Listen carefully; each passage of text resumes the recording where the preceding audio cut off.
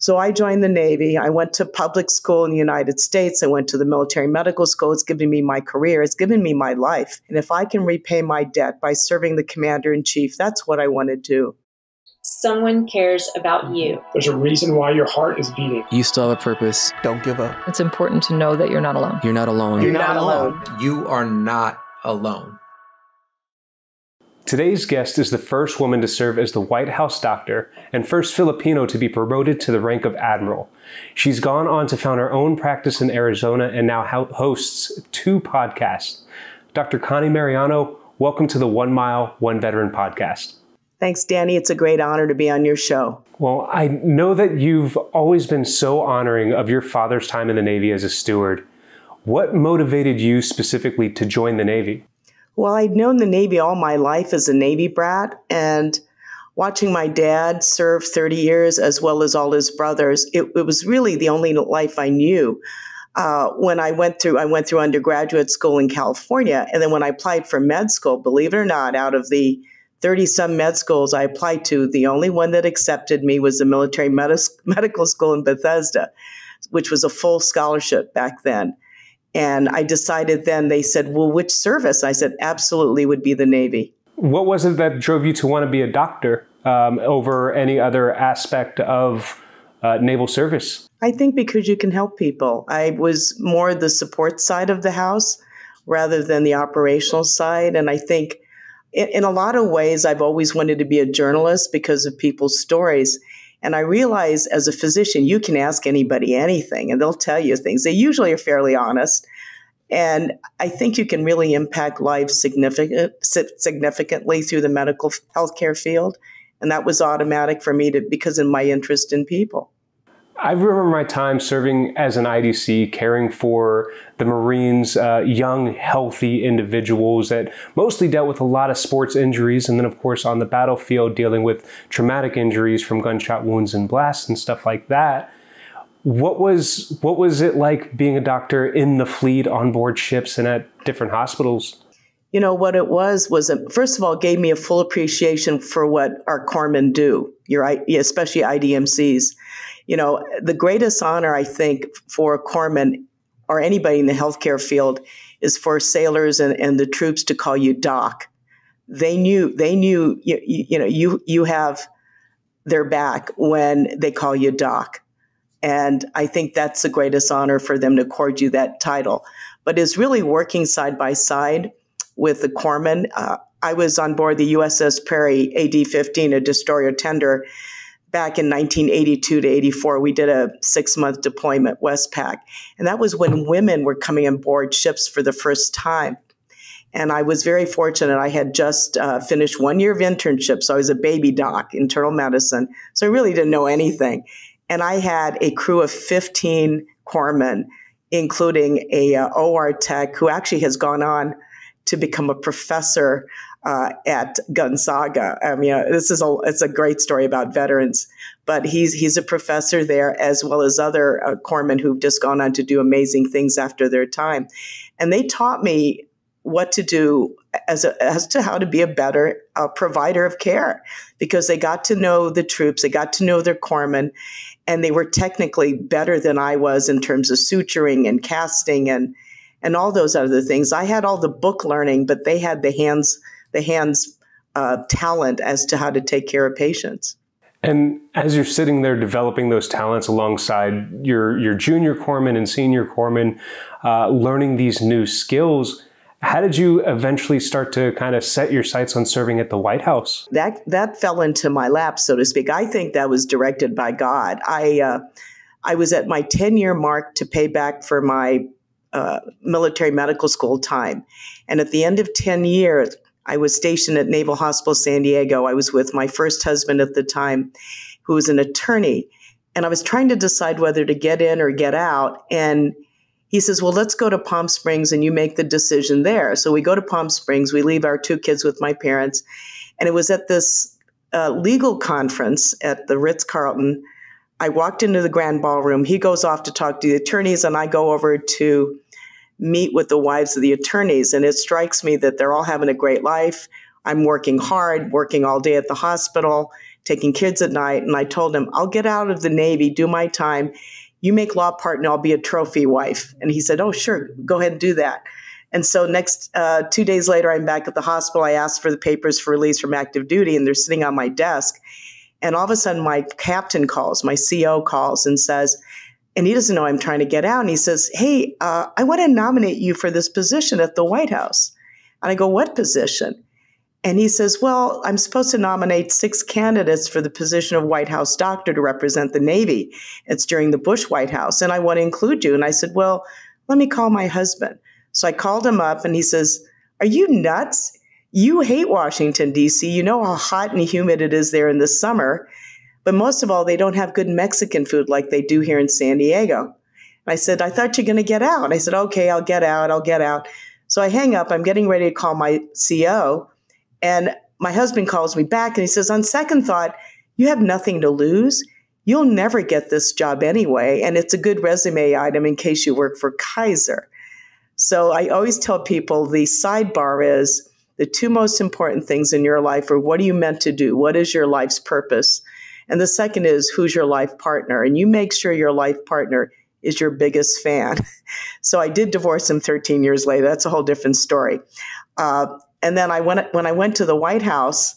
I was the underdog. There was no way they would pick me. The, the five other guys I was up against were a surface warfare. One guy was a SEAL team guy. One guy was best friends and going to be the the uh, the uh, the best man at the wedding of the guy we were replacing.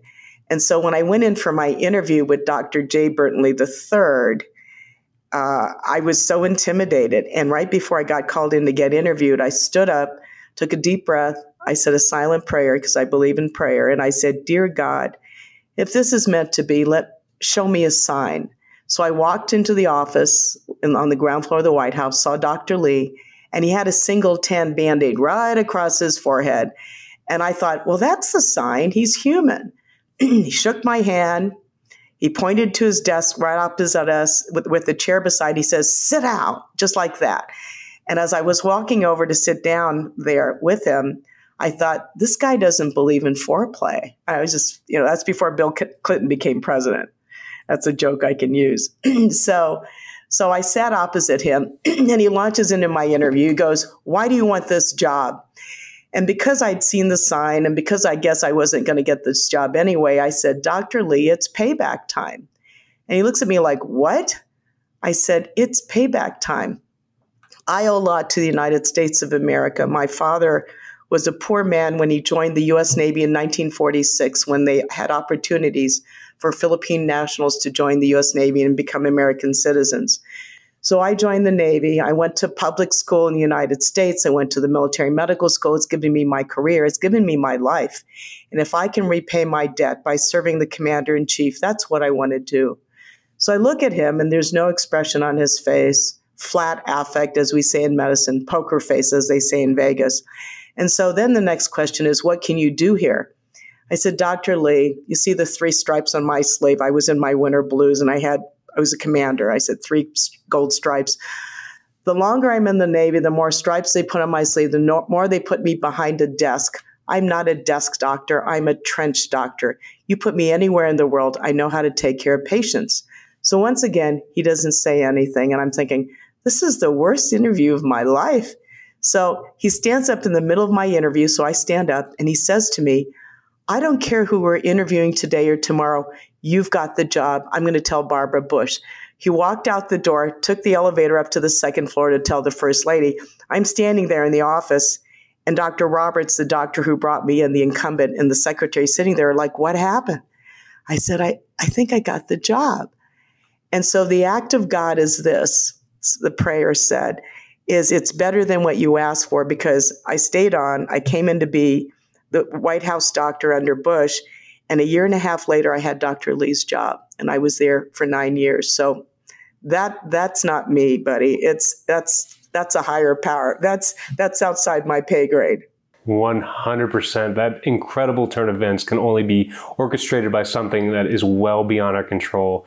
That you went from, I'm going to get out and become a tro- trophy wife and, and support my lawyer husband to now I'm, I'm being offered a job as a physician at the White House to serve under the presidents, the first families, vice presidents, and anybody else that comes through those doors. What was it like working in the White House? It's actually another world. It's a different, it's like that little bubble. You get to know people as people. Uh, you try not to let politics influence you. You've got to like people and just focus on, I always call it the soul. What are they about? They're, the little things are big things because it gets escalated in the position you play and you can't be intimidated by them. You got to stick with your beliefs and what you stand for because people are easily swayed by the, the current of what's going on and, and their purpose. And if you focus on what's the highest and greatest purpose that I'm serving, it's not about me. I would always orient my new docs and my PAs and my medics and people on my staff. I said, if you come here to serve yourself, you're you're going to fail. It isn't about you, it's about we, it's about everybody else, not about you. And by the way, you're not the most important person here, it's the people we serve. And if you do that, you won't be disappointed. You would have done a good job. Absolutely. I know my experiences, especially post service, brought me into rooms with a lot of influential people uh, serving as a photographer and videographer at various events. Um, and my wife always kind of teased me because I never really knew who the people of influence were in these rooms. And so I always just, I, I knew that people were people and they always wanted to be treated with some sort of respect regardless of who they were. And that's how I always kind of navigated these larger events when, when working through. How did you end up navigating, um, navigating through the White House and not being swept away by uh, selfish ambition? I always believe that you got to realize who you really work for, and that's God. you know, all these people are temporary. And as a physician, you know, by the way, all our patients die. You know that. We all die. So, what do you do in that pro- before you die? What kind of work do you do, and who do you answer to? That's one thing. I think having taken care of VIPs and celebrities and three former presidents of the United States, you got to look for the human aspect. And as a as a healthcare provider, and you as a medic, knowing that, you, you take care of people when they're not feeling so great. So that's a test of what kind of what pe- what they're made of, right? What do you like when things don't go your way? When you don't feel good, you're cranky, you're sick. What's your behavior? And you have to look behind their status, their econ- socioeconomic status, their title. You got to cut through all the title, titles and know who that person is. And I think that's hard. I think early on, it's not to be afraid they're human like anybody else. And they know, uh, you know, celebrities know when you're sucking up to them. They know, absolutely, they know that. And I think what they respect is if you can look at them honestly for their better good and disagree. And there were times with my former patients that I disagreed. I said, I would not do that. And I would disagree. And I think they respect you for disagreeing and explain why you disagree with a certain course of action and stand up for that because you're not going to be swept away with the current. You don't want them to to get sick. You want to do the right thing for their benefit. I love that you take your calling so seriously and then also treating people like human beings no matter what their title is. I mean, I can imagine that some of them would be a bit stubborn and we're to we're to move beyond the White House because you've done so much more, but I'm sure a lot of people are really curious. What was probably like one of the most interesting story or two that you might have during that time of your career? oh, there were so many things of travel and and meeting, you know, great um, a hundred countries, traveling on Air Force One. Everybody sees sort of the power and the majesty, you know, so to speak, of of the White House, of the Air Force One, of all the accoutrements of power. But I think for me, is just knowing the first family as a family uh, they have issues like any other family we know. It's just magnified by the media. I think, of anything, it teaches you the power of the media for good or for bad or for indifferent. Everything we see, hear, believe comes through our ears and our eyes through the media. So, what you do as your podcast and what you do to communicate is the most powerful tool to touch lives and have belief what people what people believe in. So eh, I, I've taken care of members of the media, of the press. I mean, the guys, the talking heads, the older ones, the gray hairs, I've taken care of them when we travel because the press pool travels with the president. And so the White House Medical Unit and, and, and we docs and you know the medics as well t- took care of a lot of those people. So you really, I think the joy is getting to know these celebrities on a personal basis as much as possible, as much as they will allow you to. That's that's really amazing that that's a lot of what you took away and you, and you carry on into your current life and your current practice. Now, a little bit more personal to you, what what did it mean to you to become the first female doctor at the White House and then also the first Filipino promoted to admiral? I think that that was on the shoulders of so many other people before me. When I was uh, chosen to go to the White House, there were other Filipinos there. Traditionally, they served in the White House mess. So a lot of times when they would see me in my civilian clothes, because when you're on duty at the White House, we don't wear our uniforms. Uh, the only in uniform uh, folks is the military aide to the president who, who has duty that day and they wear their uniform, they carry the football. But everybody else active duty, of which there's a large contingent, we all wear civilian clothing. And so a lot of times the civilian staff would see me in my civilian outfit on the road and they would think I were I was one of the stewards because I was Filipino. And I said, No, you want to talk to Master Chief over there. He's the president's valet. They go, Do you have some water for him? I said, I, I wish I did. You probably get it from the val- valet. So, you know what? You, you correct people, you educate people. They don't know, uh, they, they automatically assume. And I think the funniest story I remember I can share is uh, when George Herbert Walker Bush was getting ready to leave office, he did a, uh, a meet and greet with, well, no, actually, he did a little a social event with the former Speaker of the House, Tip O'Neill, and they were at the uh, the Marriott across the street from the East Wing of the White House, and I was standing in the hallway in civilian clothing with my my Air Force nurse. Actually, he was Army Army nurse. Uh, uh, I'm blocking out his name now. I can still see it. My Army nurse was part Japanese. Well, he was Japanese American, and it was, his name was Art Wallace. He's actually in Hawaii now, Art Wallace. And he was an army nurse. He was one of our, he was one of our first male nurses at the White House because typically they're female. So here I we've got the army male nurse uh, on duty, and I was on duty at that time as the Navy doc. So Tip O'Neill comes out into the hallway and he looks at Art Arthur Art, who's who's you know very uh, distinguished looking, and he's got a lapel pin. And he looks at Art and he says, Are you Secret Service? And Art goes, No, sir. I'm White House Medical Unit. This is our insignia. And so he goes, What do you do? And Art says, I'm a nurse. and he looks, Tip O'Neill looks at him like, You're a nurse? And he looks at me and he goes, What are you? And I said, I'm the doctor. and he just starts laughing. Because, you know, when you bust stereotypes, people go, Wait a minute, wh- why is that? And then he quickly, and after he realized, oh, you're the doc, he said, well, what's this thing on my hand? He, you know, he segued into, well, what's this? So, so I think it's funny when people do a double take. A lot of times they see me, and if I'm in a foreign country, they think I, I don't speak English. So I'm just quiet. You know, I just smile. you can understand what they're saying. Well, I also know, like, be, being from Hawaii and having worked around medicine in Hawaii for so long, also a lot of Filipinos go into nursing, and so for you to to go and become an actual doctor uh, also was a subversion of of the stereotype or the expectations that people would have of your role. Yeah, and also being an admiral. Um, my late husband John, who was a CEO of companies, he's tall, white, tall, white, blonde guy with blue eyes, and he was a CEO of Remy Delco before he died. And we would go on to military bases, and he had the dependent ID card, and it said Rear, Rear Admiral under under the, uh, the you know the identification. And the uh, Marine Corps guard would would look at his ID card, and they would salute, right?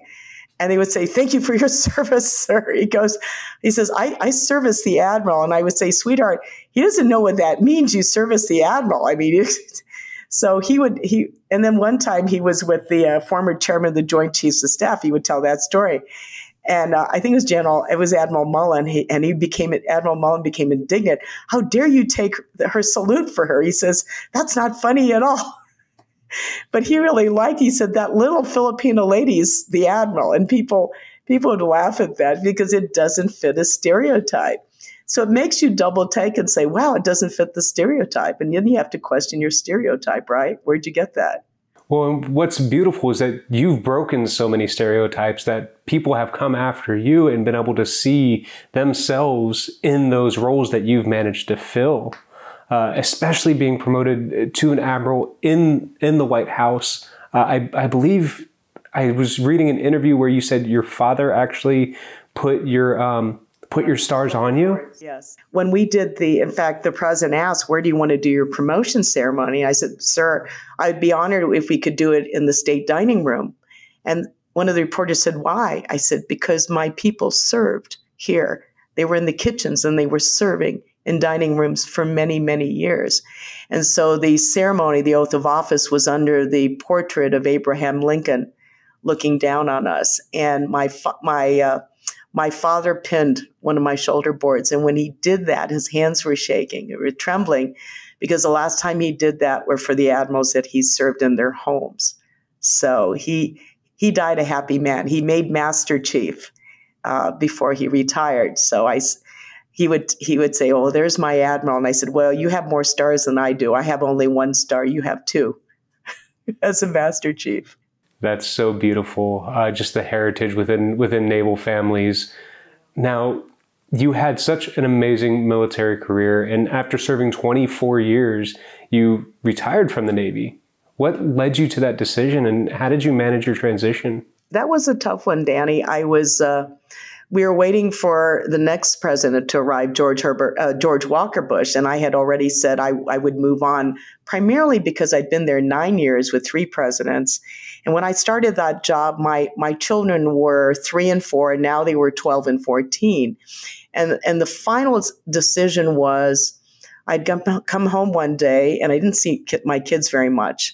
And I was uh, going through some paperwork in the basement of our home in Virginia and I found a journal uh, entry, a journal that my youngest son Jason had uh, worked on. And in the journal, he had written an entry in which he said, Today, mommy is on another trip with the president.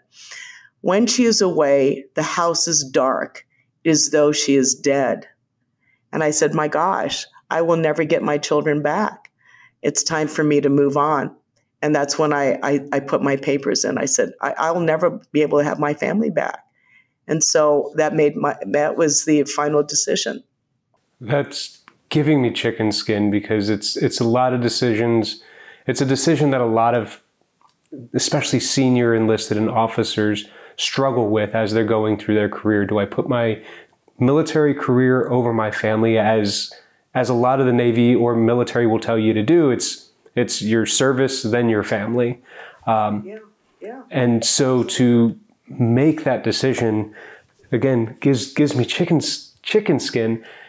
How how did you go about navigating that transition and reconnecting with your family? Because as you mentioned, you, you missed their childhood, um, and now you're stepping into their teen years. So when when we when I retired, we moved here to Arizona because I, I got recruited by the Mayo Clinic, and I think what happens is when you have a marriage that's failing, being in the service, actually deployment prolongs the marriage because you don't see them a lot. And then when you come home, you celebrate being home. So you can really stretch out that amount of time. And you don't realize you have problems in your marriage until you're with them full time and you don't want to be with them full time.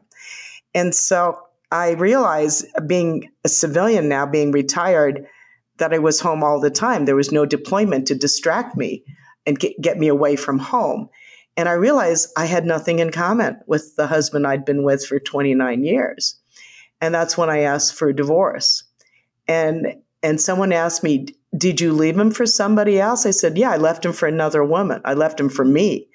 I said, "I'm literally dying." I would I would be in my private practice at the time, and I would interview couples. I go, "Well, tell me how long you two have been married." "Oh, we've been married 50 years." And and I can see how happy they are. And I said, "I don't have that. Something's missing." And I was about I think I was about 47 at the time it dawned on me, and I didn't divorce till about 52. So it takes a long time. You know, I think in marriages that fail, you feel it in your heart before it goes to your brain, before it comes out of your mouth, and you say, I'm done. And I, I left him uh, right as my sons were in college. And and it was very hard. Uh, it was very hard. My sons were upset, obviously, but they knew I was unhappy. And so we parted amicably, and he remarried uh, about a year later, year and a half later, and I remarried shortly after that. And he's still remarried, and he's I mean he's happily remarried, and I you know I married the love of my life, who uh, unfortunately passed uh, after nine years of marriage in a in an accident four years ago. That's that's a lot of transitions to have to deal with all at once. I mean, navigating through through new jobs, uh, getting to know a spouse that that you've been separated from so for so long, and then eventually deciding to end things. How do you go go about doing these steps? And I do want to talk about about your late husband John as well. But um, if you could talk to some of the some of our listeners that are dealing with these fresh transitions of I'm I'm now out of the military and I'm around my family what steps or advice would you kind of give to them as they're making that transition? You know, Danny, I think it's a lot of things we learned in the military, right? Number one, the mission comes first. What am I meant to do? How do I support my family? What's my livelihood? What's my job obligation? Because we're all about responsibility, right? We're all about mission.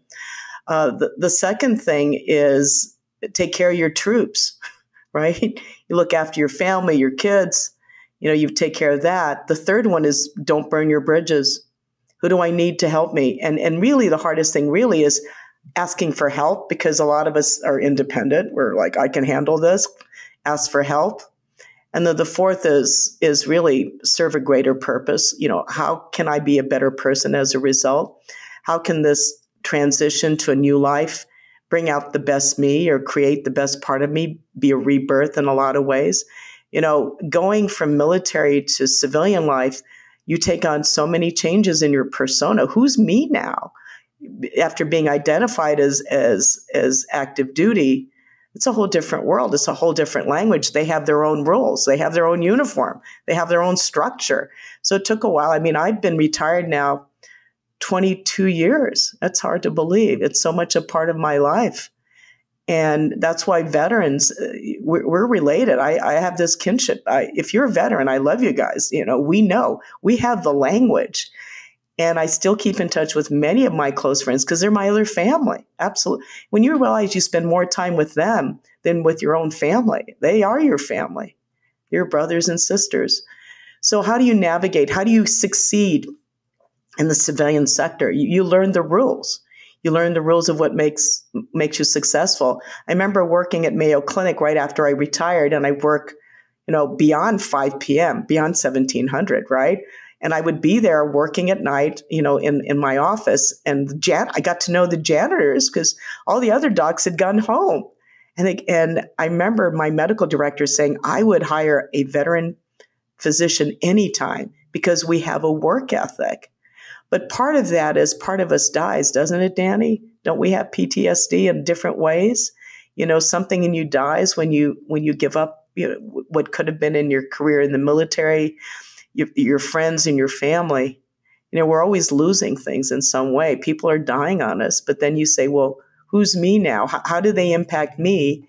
And how do I move forward in a better way? Absolutely. I mean that that transition out is almost like uh, being ripped away from your community completely because we generally move away from our final duty station.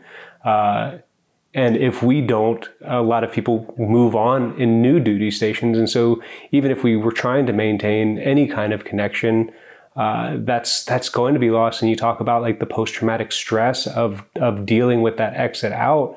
I feel like there's a lot of stuff that does need to be addressed, but finding that mission and that support group that that you had mentioned post service is so integral. Is that what sort of started driving you towards developing the Center of Executive Medicine and and developing that star level care? It, it was actually at the time I was serving at the White House. I remember following the president around, sitting in the hold, waiting for him as he's doing an event, taking care of president on the road and taking care of his staff, I, I thought, wouldn't it be cool to be in a practice where you're sort of on call 24 7 and you, you can do house calls and you can check on them, you know what's going on. So that that what that early model of what they call concierge care developed early on in my mindset because I didn't work set hours. There wasn't like nine to five with me. I, I'm, I'm always on call. I'm always on duty. I'm always responding in the middle of the night to emails and calls. I mean, that's That's why I'm there. And I like that challenge and I like knowing my patients. And so I think it set me up realizing I can work like this. And and that's, you know, I I've been fortunate to have worked at the Mayo Clinic, but I said, I think I want to go on my own to do that. And I hired my medic from the White House, my IDT from the White House, who was Air Force. and he was with me for 16 years. And it was a great way to start because he did the blood work, the EKGs, the business side, and I did the doctoring. And then, you know, things changed. He moved on, I moved forward. And now I've got a whole staff of people who are independent duty in a lot of ways. I just hired another doctor, um, civilian doctor, but I'm still looking for another military veteran to uh, former medical corps to join me. I'm, I'm recruiting. well, I'll definitely let some people know that that uh, that I still have have contact with. That you have physicians available, and you're a terrific, terrific caregiver. And it really seems like you answer that calling and caring for your physicians to the point where you keep your your patient list even limited, so that you don't get overwhelmed. And you can provide that 24 hour access to care. Now, I know many people don't have access to that care. Um, and many doctors' patients lists are well beyond their control. How do you suggest that that patients or doctors go about seeking to optimize their own healthcare?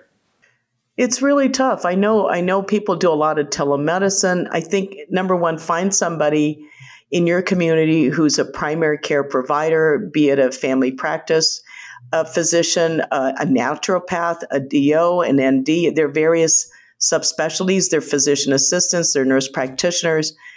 Uh, you don't necessarily have to see an internist. Um, you know, usually the older, more complicated case type of patients need an internist. Uh, insurance is an issue because it's pricey, but there are concierge practices that have a monthly fee that's very affordable. What you would pay for a Starbucks, you know, your Starbucks bill once a month, you can hire a primary care doctor to do that. So it's how much you're willing to, to allocate for that. Uh, I think it's developing the relationship with your doctor so they know you. So I think more and more private practices are going through that model.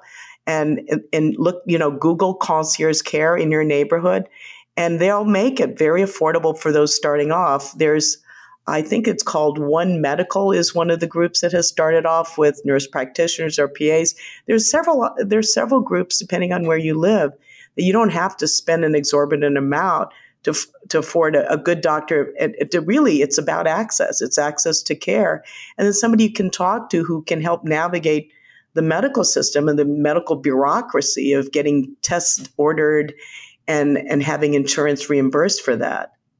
So concierge care is, is kind of a, a new path that you're seeing that's really being beneficial to providing um, good access to consistent care because I know in something like a Kaiser or something like a VA where they hire a large swath of doctors, nurses, uh, care workers, there's high rotation in a lot of these fields because of burnout.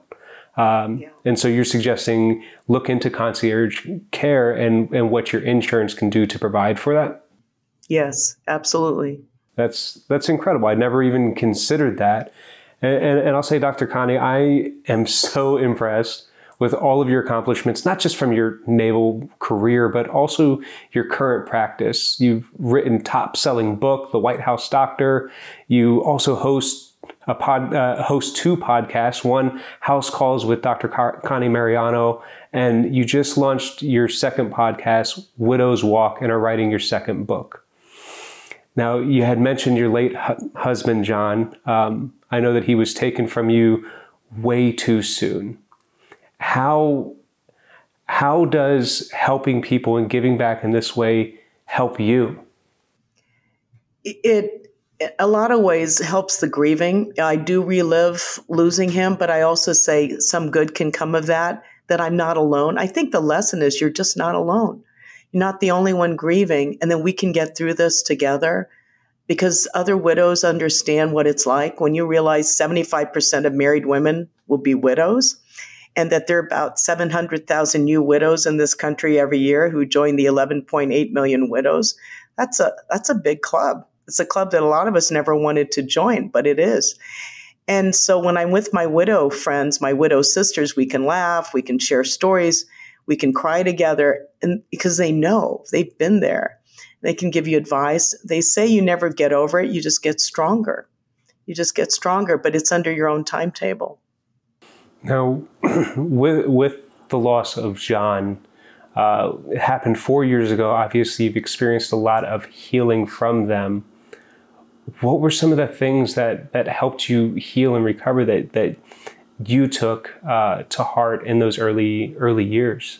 I I looked at my faith about uh, the the afterlife that uh, John has not died at all that his only his body's away so he's still very much present in my in my life in my heart I would dream about him and one of the first dreams I remember in that dream is we used to, to we used to have an airplane he was a private pilot as well and except I'm in the cockpit with him. I always sat in the cockpit, but in the right seat. This time I'm in his seat and I'm taxiing on our runway.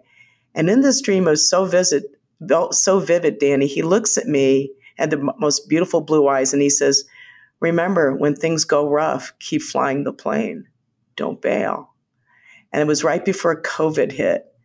And, and right when my accountant said, You know, you don't have to work anymore because he took care of you. And I said, but what would I do? So I, I said, I, I, will just keep working. I need to work. I need to be in contact with people. I need to have a purpose. What is my purpose? What is my mission? And I think that was the biggest lesson. What's my mission? And, and also to take care of yourself, right? And be around other people.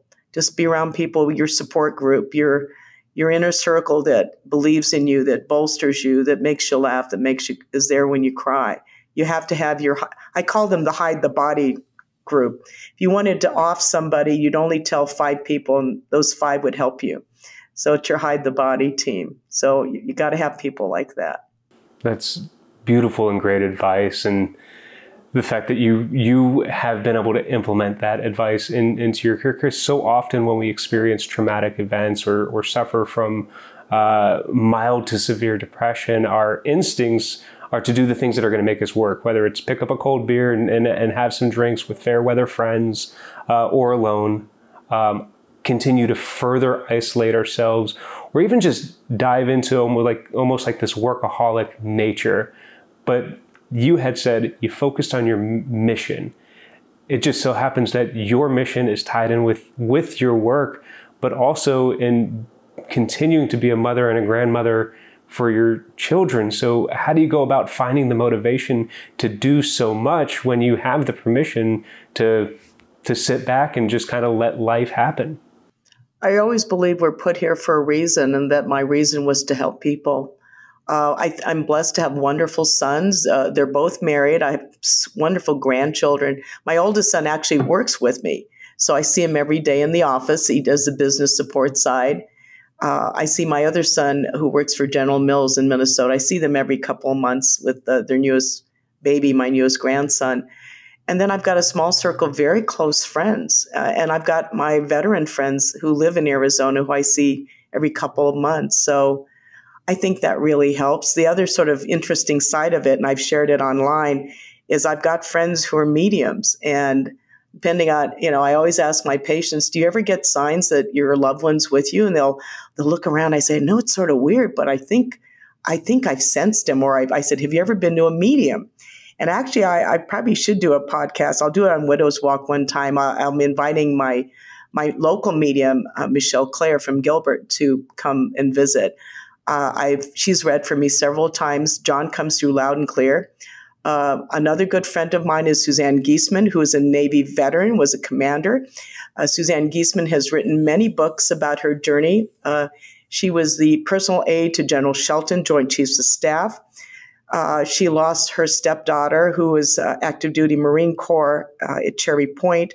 Her daughter, Susan, died by lightning, struck her by lightning, lightning several years back and that led to Suzanne Giesemann's journey to become a medium. And she is the most unlikely person you would think would become a medium. She's married to Ty Giesemann, who's a former Navy ship driver. And I just saw her uh, on an Alaskan cruise um, a few weeks ago. And she had 550 people on that cruise who were dedicated to attending her workshop uh, called The Awakened Way. And she channels spirit in a lot of ways. And we, you know, people sometimes think that it's made up, but I always think if I believe that I, I in a lot of ways can connect with my husband or people can help me connect, it, and it gives me tremendous comfort.